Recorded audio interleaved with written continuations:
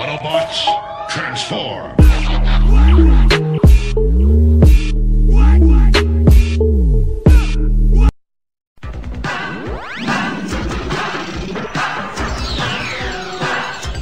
What's up, everybody? I'm George, 80s Transformer fan. I'm so excited to get these guys merged, and I'm going to get right to it without all the pre-introduction and all of that. I got them pretty much uh, what I feel will help me combine them faster. Uh, I got Hun-Gurrr, obviously, in his alt mode with a sticker peeling on his head, and the other guys in their robot mode because they switch better, I think, to the limbs as is. So I'm going to start with a foot, a Sinnertwin, just uh, fold up his hands. Because he, he doesn't go full beast mode. He's pretty much in his robot form as a limb. Fold his head up behind him bring this back and we tuck his arms away sort of to the back rotate his legs around these actually transform up from around here he has the most panels. I think uh, he's not difficult, but he's the most complicated out of the limbs. He's more complicated to Hun-Gurrr as well. So close these little things up. Line up. Snaps into place. Straight out the waist. Um, rotate his little port out that connects at the knee. I don't have it quite locked in. There it is. Snapped in pretty good. The dragon heads, um, I think they, they hang out reverse, but I turn them around because you actually think it looks cooler. Bring these little parts down to fill in your gaps. You just got to get a, the right way for the, uh, I think it swivels. You just got to get the right way for, and yeah, and it tabs in right here. For these arms, to go. Swivel them around at the forearm, and again, there's the tab, and there's the slot. And you just slot it in. Pull his leg out of the way. And tab it in. A little bit of squeeze. Yeah, it's tabbed in pretty good. And these just tuck around, I guess. Like that. And then you take his foot. And you can make either side. You can make this the front. And you can have your uh, dragon heads out front or you can make this the front sort of more like G1 configuration he's all done so up next is cutthroat he's going to be our other leg our left leg and just just like swoop he's just like swoop dynamite swoop you tuck his arms away you turn him to the side so they can tab in right here on the sides of his hip rotate this so the purple part is facing forward tap into the sides of the hip and kind of squeeze them in, accordion into the sides here. And his legs just accordion up. His is very simple. You don't have to open up any panels or anything. And accordion up and you can see the two tabs just squeeze together. Then take his head, tuck it down. And I, I managed to fix his head since I did his review. To get it to hold on better. And I'm hoping as soon as I say it, it don't pop off. So tuck his head down right here. I believe that's, that's all you do. His wings come down to the front and they, they have tabs here and here. Tab in on the sides of his body. And his legs just hang around, hang out right here, I guess. Let me get his wing up. and that's pretty much it you take his foot I already have the, the prime master in there and here is the second foot coming over to Rippersnapper his arms swivel to the back again there's the little tab you tab that in and you do the same thing over here obviously and you got his arms kind of pent down behind his back you rotate his head. It's all one piece on this figure. It reveals the port. Oh, I think it stops right here. Cause yeah, cause he's the arm, and pretty much the legs. Th these stay the same because his legs and waist robot mode become the elbow joint. And so they uh, oh, you got to pin the tail together, It's going to keep popping apart like I did. And the key is just to get it all lined up, which I'm not doing. All right, and, and that's pretty much it. You take the fist, and because he's going to be the left arm, I'm actually going to remove the thumb. It's on a ball joint because he has double thumbs. So if you didn't find all the guys, you can have duplicate guys and still build the Build-A-Figure, the Build Abominus. So, but anyway, I'm going to remove the thumb because, I mean, it's totally unnecessary and it looks a lot better. So there is Ripper Snapper. Coming on to Blot. Blot is pretty much the same thing. You tuck his hands away. All these guys, you tuck their robot hands away. Find a way to pin his arms back. He has the port here. It's the same thing, same thing on everybody. And they're pretty much like the Combiner Wars guys as opposed to the Dinobots that had a lot of new tooling, except for Swoop. Um, and you flip him around, his port just comes out halfway. You just flip him around just halfway. So the port is right there. Pretty much, uh, I think that's pretty much it on this guy. And you just take his hand, and again, I'm take his color coordinated hand, pop the thumb out because he's gonna forever be the right arm because that's how I like it. That's how I just had it as a kid. Only had this guy, but that's how I had it. And he is now the right arm. It's simple as that. That's pretty much it. All right, coming to Hun-Gurrr. All right, he's a little bit more complicated to get in the main form. His his hind legs as a uh, dragon becomes the connection pieces to the legs. So I'm gonna get these out of the way. I think I'm doing it right, folding it up together. I think that's right. Um, turn them around. Is it, no? This is going to be the chest.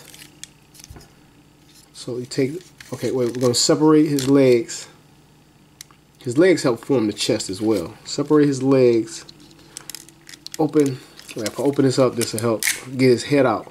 His head comes out of here with the, with the antenna tucked away, which is very very clever. chest plate comes up to here. You tap. There's a tab on the front of his head and there's a tab at the front of the chest plate all right and that helps get everything going these fold around and down the dragon heads and they fill in the gaps somehow let me get this tail out of the way bring this tail to the back snaps in there you take the little dragon legs. They, they, I know they swivel around and fill in some gaps or maybe they just they just come straight up. Okay you swivel these around bring them into the side and they make the rest of the chest. Chest plate chest plating. And he has some tabs on his toes to tab in right here I got it lined up correctly okay yeah I just didn't lock it down I guess that's why it pays to read the instructions. Because I know this little tab has to tab in. No, it's not trying to tab in. I got to get this to lock down. Yeah, just bring it down some. It was bothering the heck out of me. I just couldn't move on without getting it. Did this? It tabs in right here. If it will tab in. All right, now so that lines up a lot better. Now, now it's popping out, but it was just bugging me how it wasn't sitting there right. And I thought it felt it felt right, but it wasn't right. So this is Hun-Gurrr in his full torso mode. I believe I have it transformed correctly. I don't know if these come up a little bit more out of the way. I don't know, maybe looks a little bit better up there. I don't know. I don't know if that's official. I don't do instructions, so watching my review, this is what you're going to get. Raw. So he's all ready to be combined. So just like Combiner Wars and the Dinobots, um, we'll take Cutthroat, he's going to be left leg. Just slide him in. And this actually is on like a little spring. Sort of kind of lock it in, but it's really unnecessary. But you kind of slide in, push that up. And then we have one leg. Take Sinnertwin.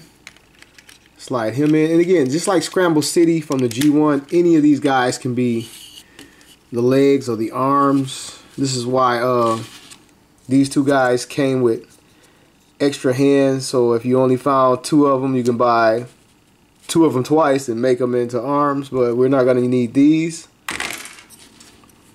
And Blot is going to be the right arm. And he slides, he slides in just here. If I can get it on camera. And it's, it's beautifully concealed as well. And it looks freaking awesome. He slides in right there. Rippersnapper slides in on this side, right in there. And he looks amazing. Um, man, oh, you can get this little gun port it in so he can carry it around. It makes him look a little bit more menacing. I already have these guns ported in. You can also take the, uh, I keep calling it Prime Master, but it's the, the Enigma of Combination. And he has a, a compartment, this little secret thing in there. It goes in with a little plug at the bottom. Plug into his chest. Which is, is just so cool. It really is. Plugs into the little secret thing and then he has a little enigma of com combination in there. And every review I call it the Prime Master, but it is not. I know what it is. I just say it wrong every freaking time.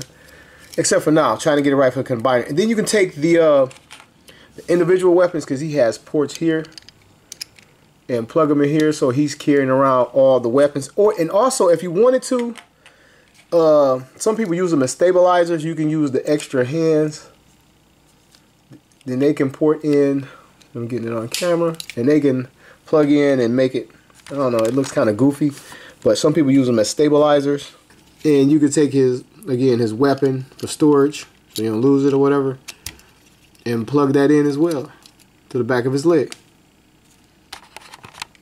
Yeah, I, I, just love this thing. It's leaps and bounds. Maybe because I did the Dinobots first. Dinobots are trash compared to this thing. And I don't know if it's because of the overall design where it's kind of, these guys are kind of straight up and down and the Dinobots have all a lot more bulk. But it looks great. Even his gorilla arms don't look as bad as it did on the Dinobots because they're the same length. But it, it looks a lot better. He's a lot cleaner. I mean, he has some of this kibble up here, but that's sort of how it was in the G1 too. Come around to his back, it looks pretty clean. Um, get this a little bit better. The the the back of the legs. I mean, for what it is, I mean, the parts have to go somewhere, and I think they pulled this one off very well. This is the best combiner that I've played with. I think I did Menasor and I did the Autobots combiner.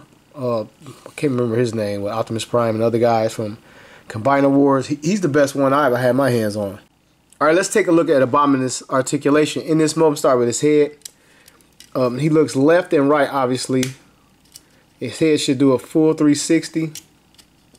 And he has no up and down. I can't believe they didn't put these guys' head on a ball joint just to get it up and down to look up, which would have been very, very nice. But none of these combiners that I'm aware of can look up and down. Coming to his arm, pretty strong ratchet in there It's coming out as opposed to rotating. Try to turn it this way. Alright, has a 360. You can hear it clicking coming to his elbow. It can swivel and bend up. Get this much out of it. Bring it back down, swivel it. Uh, you can raise the arm out to the side that far. And he should he should stand up. Let me get my feet straight. Yeah, he, he can stand up with the weight out to the side still. And coming down to his hand, it's just you saw it just pegged in. So at 360s, and that's pretty much it. The fingers, which I just folded up, fingers just go in and out. They're all hinged together, and then he has the ball jointed thumb. And this guy, I don't think he has anything at the waist. He didn't have it in Dino mode or dragon mode and it's a shame because it's just this little piece they could have put some type of cut in there and uh he totally has the clearance to do it but he does not rotate at the waist his leg and I, I know his foot is real heavy so I don't expect this to hold but you bring it up this far it's gonna come back down I probably could build that joint up but I mean I'm not gonna have him pose with one leg in the air anyway but they could have put a harder ratchet in there for that and he has a swivel at the upper thigh. You can 360 completely, and you can bring the leg back up and hold it. Bend him at the knee, and again, you can swivel it back and forth. I guess he can hold it like this if you bend it down and it's like less pressure on that hip joint. In the foot, you can swivel it back and forth and it has a little rocker in there. And you can hear it. You can see little teeth back there. And that's pretty much for his articulation. Yeah, he balances well enough so he can, with his arms even out in front of him, he's not falling over from the weight. With those big bulky arms, he's standing there. A lot of figures would crash to the ground with that weight out in front of him. And it's a, it's a shame that he doesn't have a gun or a sword or something. Because I think all the weapons that he come with are tabbed in or plugged in in this uh, combiner mode to his combiner form. So he really he, do, he doesn't have a weapon at all. So third party there. I was gonna say you don't need a third party for this figure because of the hands and the head. I think the hands are you pop that thumb off and it's pretty cool. And the feet the feet could be better, but they're not that bad. So, but I mean, if third party probably gonna sell hands and a gun together, so I probably would get a gun. I mean, he just needs a gun or a weapon. Anyway, I'm gonna move on. Slide them to the side. Bring in my G1. My G1 is configured a little bit different. This is how I always had it. Uh, with the feet, with the legs reversed. And I probably could switch around for the tour review, but I'm not because I like it like I like it. And I like this one the way he is too. So here are side by side. You can see how they use the dragon heads to duplicate the flare on the, the chest plate over here. And then the rest of it is pretty much faithful, which is very, very cool. They kind of skipped on the purple hands to go with the color coordinated hands for the figures. Okay, real quick, I want to show you the attention to detail from the G1. If you take a look at the stickers here, they brought the stickers over here as molded detail. In here and in here think we, we lost a little bit of blue. That didn't translate over, but the little lines here became like little ventilation over here. They lost the blue. These little like turbine things in there were brought over and done in a lot more detail here.